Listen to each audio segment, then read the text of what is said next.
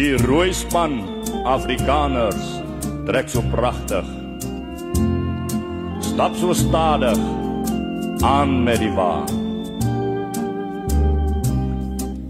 Die roepstem kom tot ons so luid en kragtig. Trek saam met die ou Ossewa. Ja, 1908 en dertig jy bring die Ossewa om Afrikaners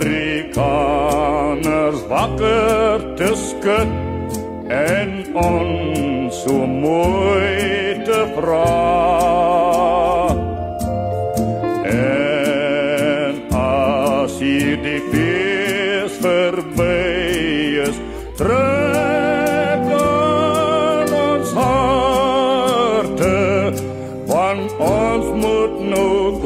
so vir altyd verlang volk en taal. Ossewa, ek wil jou vra wanneer jy uitspan by Pretoria en Bloedrivier. Trek al die Afrikaner harte wat af fees vier. Gee liefde en plesier. Laat ons dink aan jou verlede en gebede.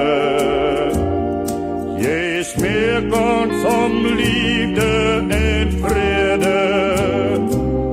Dat ons terug nou kan kyk na die kakebeen waar op die pad van sy